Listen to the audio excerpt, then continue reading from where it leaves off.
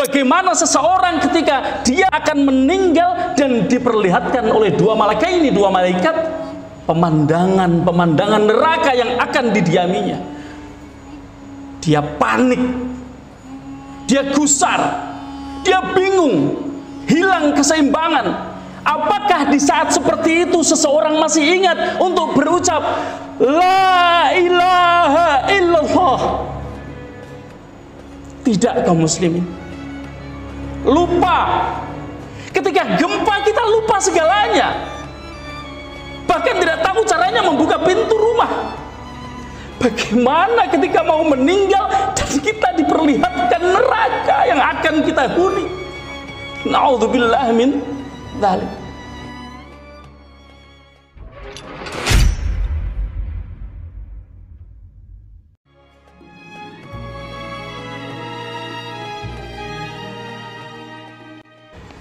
السلام عليكم ورحمة الله وبركاته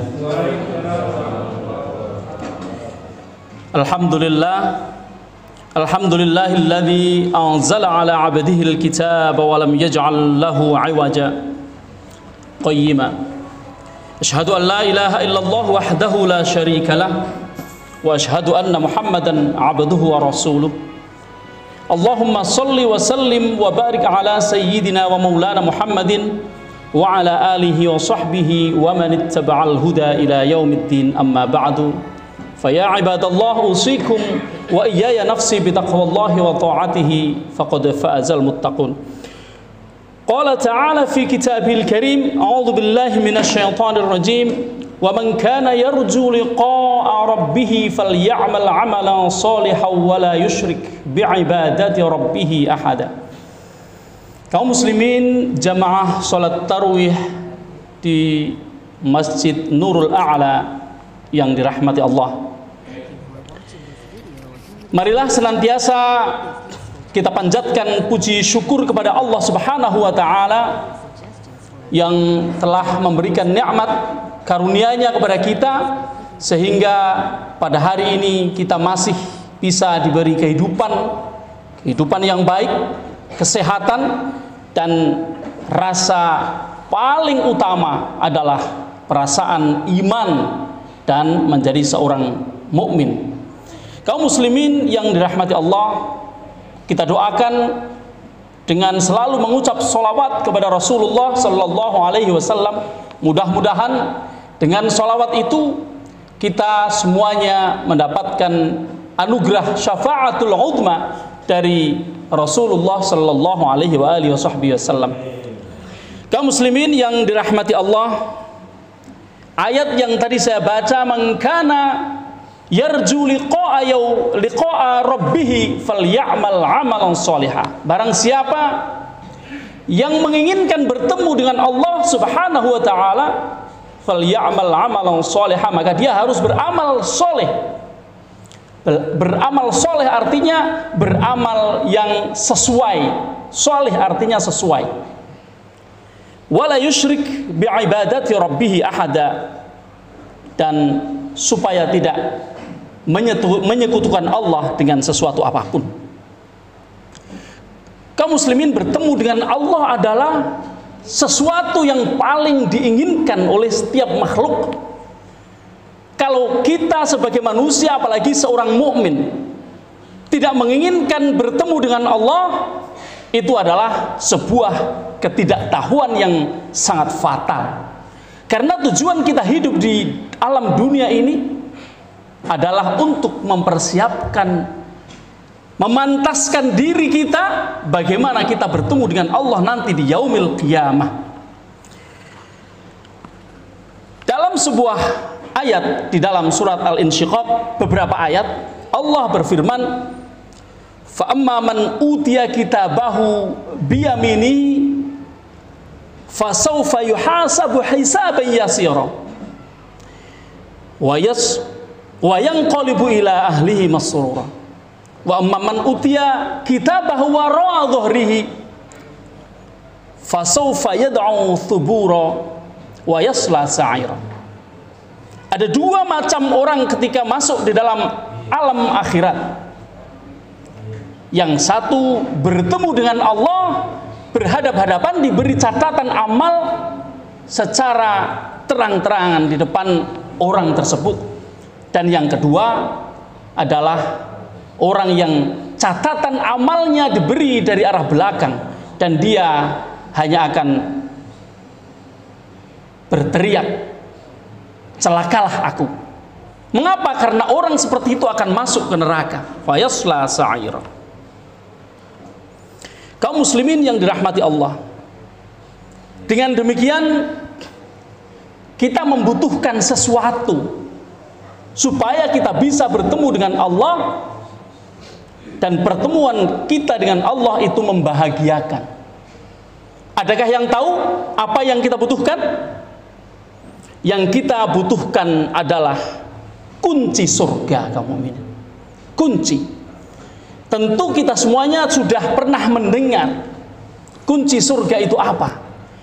Miftahul jannah La ilaha illallah gitu ya. Miftahul jannah, kunci surga adalah kalimat tauhid la ilaha illallah Muhammadur Rasulullah.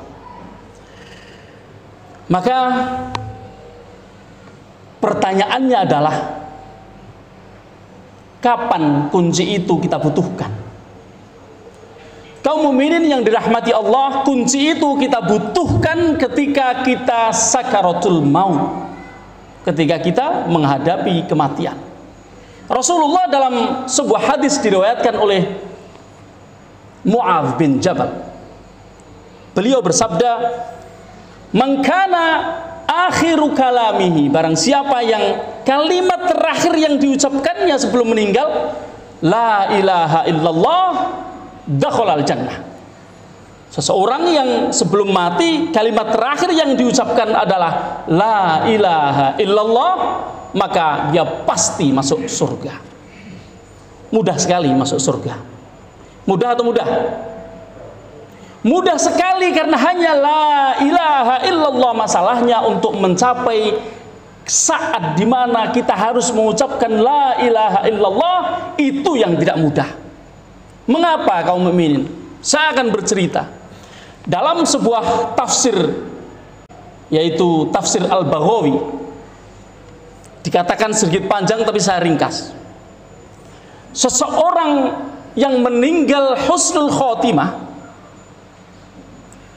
akan disambut dengan sebuah ayat berbunyi ya ayyatuhan nafsul mutmainnah irji'i ila rabbiki radiyatan mardiyah fadkhuli fi ibadi wadkhuli jannati di dalam tafsir Baghawi dikatakan ketika seseorang menghadapi kematian dan orang ini termasuk orang yang baik yang nanti akan jadi penghuni surga, maka Allah mengutus dua orang malaikat.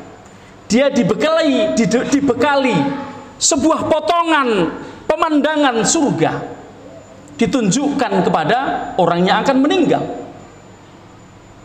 Lalu malaikat berkata, "Wahai ruh yang toyib, ruh yang toyib, ruh yang toyib itu adalah ruh yang di dunia melaksanakan perintah Allah dan meninggalkan larangan Allah.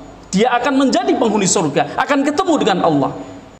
Keluarlah dari badanmu dan lihatlah masuklah ke dalam surga. Ketika kita mau meninggal kaum mukminin kita melihat ke mana kita akan pergi. Ke mana setelah kita keluar dari jasad kita apakah kita pergi ke surga atau kita pergi ke neraka? Semuanya diperlihatkan. Barang siapa yang akan masuk ke surga dia diperlihatkan kebahagiaan yang luar biasa Ketika itu hatinya tenang. Makanya disebut ya ayyatuhan nafsul mutmainnah artinya wahai jiwa yang tenang. Ketika itu dia melihat kebahagiaan yang luar biasa, kuburnya luas. Luasnya kubur seseorang yang akan masuk surga adalah 70 zira' satu zira' sekian. Satu zira' sekitar 50 cm artinya 35 meter kali 35 meter. Padahal padanya pada kenyataannya kuburnya tidak lebih dari 2 meter panjangnya. Tapi kemudian oleh Allah kubur itu disuruh untuk meluaskan diri menjadi begitu luas. Dan apabila seseorang mempunyai sesuatu dari Al-Qur'an, maka di kubur itu Al-Qur'an akan menjadi penerang. Tapi kalau dia tidak mempunyai sesuatu atau pahala maksudnya, tidak pernah membaca Al-Quran, jarang membaca, tidak hafal, tidak melaksanakannya. Kalau tidak melaksanakannya tidak mungkin. Seseorang pasti melaksanakan Al-Quran sehingga dia masuk surga. Dia akan dibuatkan sebuah cahaya seperti matahari di dalam kuburnya. Tapi kaum muslimin, bagaimana seseorang ketika dia akan meninggal dan diperlihatkan oleh dua malaikat ini, dua malaikat pemandangan-pemandangan neraka yang akan didiaminya. Dia panik, dia gusar, dia bingung, hilang keseimbangan. Apakah di saat seperti itu seseorang masih ingat untuk berucap La ilaha illallah Tidak kaum muslimin Lupa Ketika gempa kita lupa segalanya bahkan tidak tahu caranya membuka pintu rumah. Bagaimana ketika mau meninggal dan kita diperlihatkan neraka yang akan kita huni? Nauzubillah min. Dia tidak akan mampu mengucapkan la ilaha illallah. Untuk itu kaum muslimin, malam ini saya khusus menyampaikan Ceramah ini bagaimana Allah telah menuntun kita untuk nantinya bisa mengucapkan la ilaha illallah sebelum kita meninggal. Allah berfirman, "Mangkana yarju liqa rabbih." Barang siapa yang menginginkan bertemu dengan Allah, falyamal amalan sholiha. Maka beramallah dengan amal yang sesuai amal solih kaum muslimin. Kita selalu mengatakan amal solih tapi amal solih itu apa? solih artinya sesuai sesuai dengan apa? dengan yang diperintahkan dan dilarang oleh Allah subhanahu wa ta'ala itu namanya syarat. Yang pertama adalah amal soleh. Dan yang kedua syarat utama untuk masuk surga adalah wala yusyrik bi'ibadati rabbihi ahada. Tidak mensyirikkan tidak syirik, tidak menyekutukan Allah. Ketika berdoa kholisan murni hanya kepada Allah. Kita ketika kita melaksanakan ibadah seperti tarawih ini kholisan lillah. Bukan agar kelihatan puasa, bukan agar kelihatan kita orang yang melaksanakan qiyamul lail. Bukan demi fakhr, bukan demi segala-galanya yang ada di dunia. Tidak, tapi kholisan lillah karena Allah tidak mau disekutukan. Allah sangat pencemburu, dia tidak mau disekutukan dengan apa pun yang bisa kita nikmati di dalam dunia. Kaum muslimin, satu tips yang diberikan oleh Abdullah ibnu Amr. Beliau mengatakan seseorang yang ingin masuk surga dan ingin bisa mengucapkan la ilaha illallah ketika sebelum meninggal dia harus istiqomah dalam satu hal saja tapi dia konsisten apa pun itu amal baik satu saja cukup. Khususnya kita mengamalkan kalimah tauhid la ilaha illallah Muhammadur Rasulullah. Istiqomah itu masalahnya. Apa itu istiqomah? Yang pertama istiqomah bil lisan. Mengucapkan dengan lisan terus menerus. Yang kedua istiqomah dengan hati. Hati ketika kita mengucapkan la ilaha illallah hati kita ta'alluq. Ta'alluq itu tersambung dengan Allah. Dan yang terakhir adalah istiqomah dengan jiwa.